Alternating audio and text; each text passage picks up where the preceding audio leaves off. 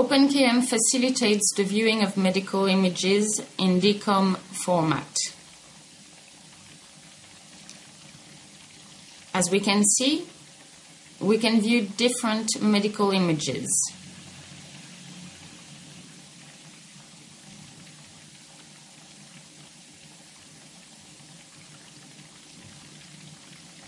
We can expand the working screen so that it's at its widest.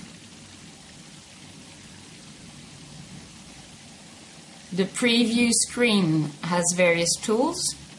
For example, calculating distances,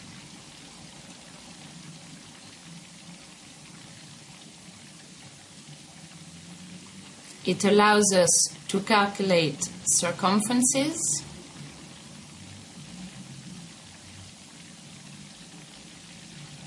calculate angles,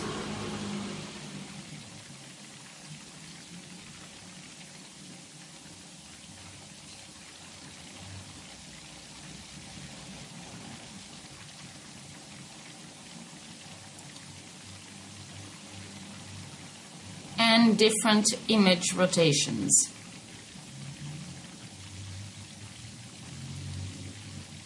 We can reset the image and we can also invert it. We also have a zooming tool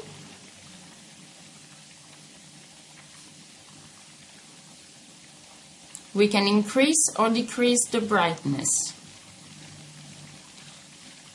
And we also can enlarge or reduce the size of the image by default.